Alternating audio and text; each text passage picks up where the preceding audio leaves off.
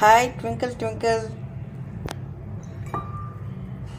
நான் இந்த கப்பால் ரெண்டு கப் மிளகா எடுத்து வச்சுருக்கேன்.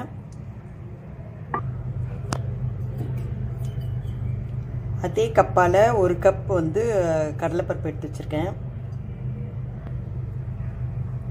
அதே கப்பால் ஒரு கப் வந்து கட் உளுந்த பருப்பு எடுத்து வச்சுருக்கேன்.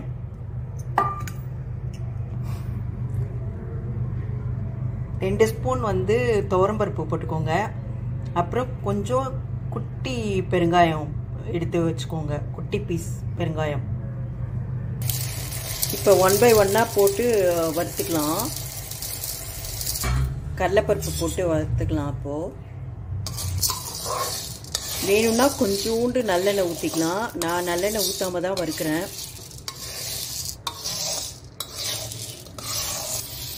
இப்போ ஒரே மாதிரி வறுத்தாச்சு. இப்போ வந்து இன்னொரு இதில் ட்ரான்ஸ்ஃபர் பண்ணிடலாம் இன்னொரு பாத்திரத்தில். உளுந்த பருப்பை கொட்டி வறுத்துக்கலாம்.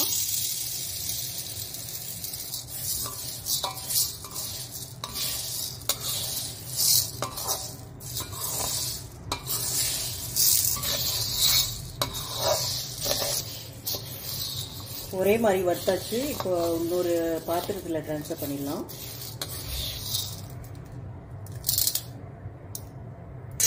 இப்போ துவரம் பருப்பு போட்டுக்கலாம்.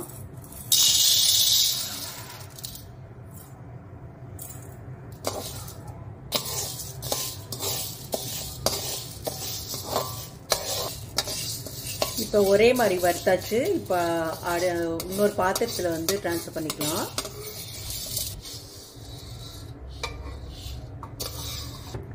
கொஞ்சோண்டு கொஞ்சோண்டு நல்லெண்ணெய் ஊற்றிக்கலாம்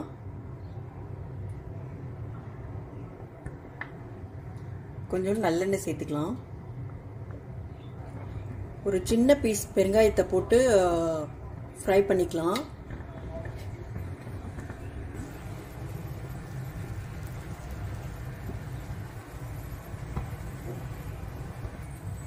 நல்லா பொரிஞ்சிருச்சு எடுத்து வச்சிடலாம் அதே எண்ணெயில் மிளகா போட்டுக்கலாம்.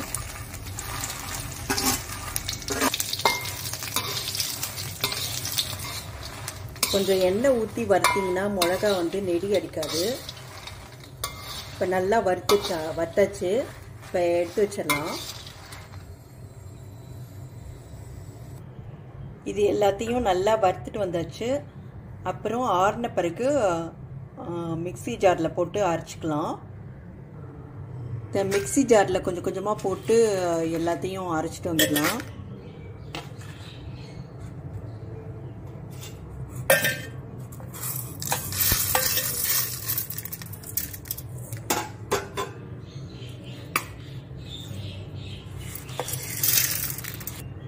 தேவையான அளவு கல் உப்பு போட்டுக்கோங்க. கல் உப்பு போட்டுட்டு அரைச்சிக்கலாம். நல்லா அரைச்சிட்டு வந்தாச்சு. இந்த மாதிரி ரொம்ப குறை குறைன்னு இல்லாமல் ரொம்ப நைஸாகவும் இல்லாமல் இந்த மாதிரி அரைச்சிக்கோங்க. உதிரி உதிரியாக இருக்குது பாருங்கள் இதில் கொஞ்சம் நல்லெண்ணெய் ஊற்றிக்கோங்க